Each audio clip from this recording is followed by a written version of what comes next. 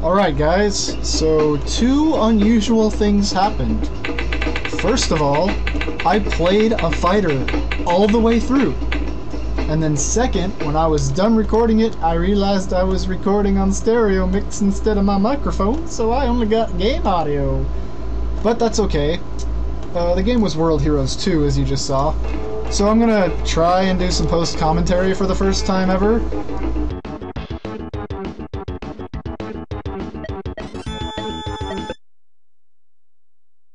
So I went into the options, I was like, whatever.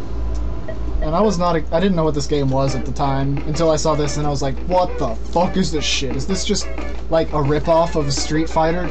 Because it looks exactly like it. It looks like they just skinned all the characters and changed it up. Uh, I think it's made by the same people though. And uh, surprised was I when I found out this game is actually really fun. I don't even like fighters, but it's just so ridiculous. And as you'll see, really soon, the characters are, are wacky. All of them. Every one of them is wacky. And later on, I just, I rip through everyone with a certain character. So our first matchup is uh, the Fuma Man, which I chose just because it it make it references MST3K's Puma Man. At least that's what I was referencing. Because I always want to be the Fuma Man. And this isn't the first time I've been the Fuma Man. There was another game I was the Fuma Man. So this this skinny ass bitch starts kicking my ass. But then I, I quickly realized that all of the moves are very similar to Super or I mean Street Fighter 2. So I, I quickly find out that half the characters have a Hadoken, and I start spamming it like crazy. And it's about to happen right here. That is not the Hadoken, that's just, that's like the Hadoken on a different button. So I, I played through this whole game, and like, out of the four buttons, I only used two of them ever. I don't even know if the other two even do anything. The shoulder buttons don't do anything, at least I don't think they do, they might taunt. And I think it was X and Y didn't do anything, it was all A and B. So I, I, won this this round real quick, and I was like, what the fuck? So as you can see in the background, there's there's some dancing monks. It's kind of kind of unusual. I've never seen dancing monks, and there's a not so angry Buddha over there in the corner. I don't, I don't know what that body shuriken shit's about, but it's amusing. So I, I spammed the crap out of that for a while. I, I stuck with I stuck with Fumaman until I died, and then I just started trying every character. And actually, I pretty much I got raped by this this pirate. There's a pirate in this game, and that's that's what really made me start laughing. That that's to come in a little while. So let's just enjoy the dancing monks while I I beat up on this scrawny dude. He didn't show he didn't like have any challenge at all. Things get a little ridiculous later with that pirate though. I go through pretty much half the cast losing to that pirate.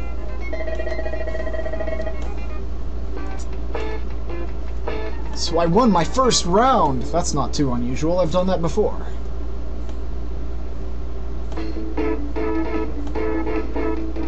And then we head over to Japan. Where we fight Ryu, I mean, Ryoko. Ryoko kicked my ass once. I think actually that's what happened. I like each person seemed to kick my ass once, then I'd switch and kill them, at least for a while. I even thought I was gonna win this shit. Cause I mean, how can you how can you lose spamming Hadoken?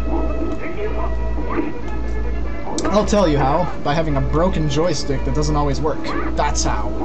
It actually kind of broke halfway through, and that's par partially why I kept losing to the pirate.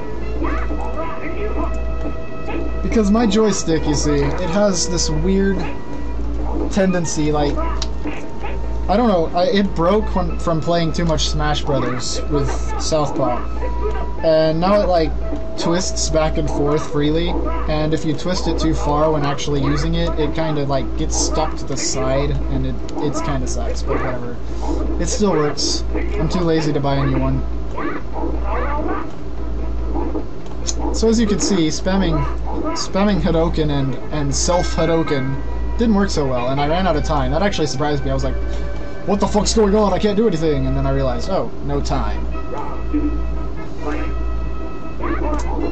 So as you can see in the background, there's uh, this guy and two people kind of jacking off next to him while a guy plays drums.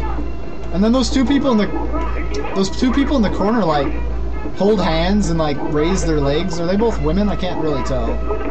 I'm actually watching this in a shrunk window at the moment.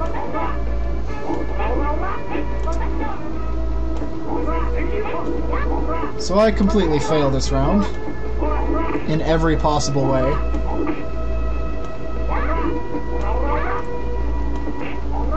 And that's when I realized there were grab moves.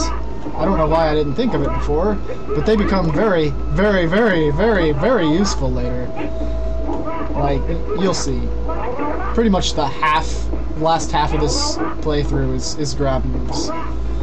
And not just grab moves, the same grab move. It pretty much dominates this game. So she beats the crap out of me, and you can see the two women are like, Oh, I love you! And then I'm like, over in the right corner, I'm like, I guess this was a win-win situation, you could say. And that's when I did that. And that's that's where everybody goes, do ho ho ho. But you don't have to because it's stupid. I'm good at bad jokes, that's my thing. So I, I look through the, the characters here, and I choose Muscle Power, because how can you say no to a name like that?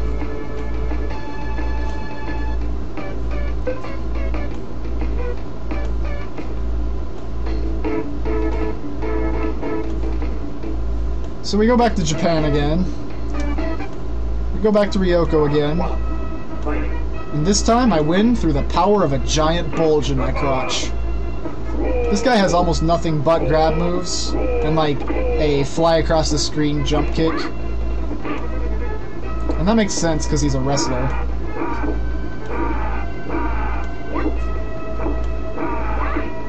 But no women can win against this manliness, surely.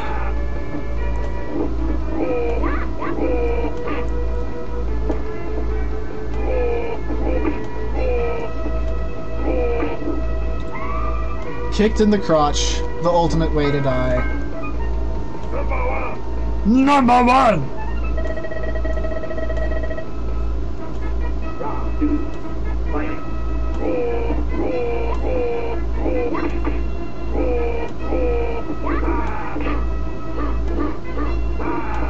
That didn't seem like a really effective move there, guy, but thanks for that.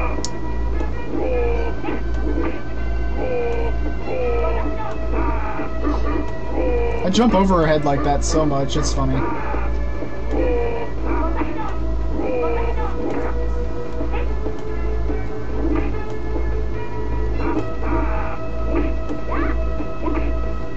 She's almost dead, but why kill her when I can jump over her head repeatedly, you know? Oh, she actually won this round. That's the next round I jump over her head repeatedly.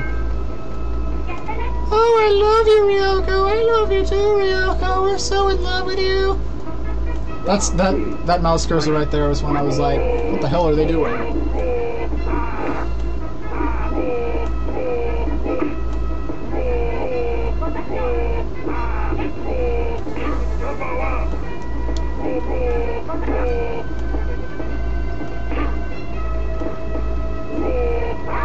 So yeah, this is not a very interesting fight. The real reason I kept playing this comes soon. It's after I switch from this character. I think it's the next round, in fact.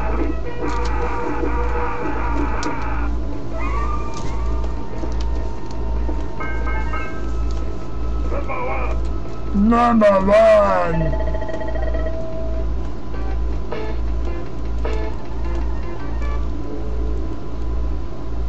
I am aware of my power, thank you very much.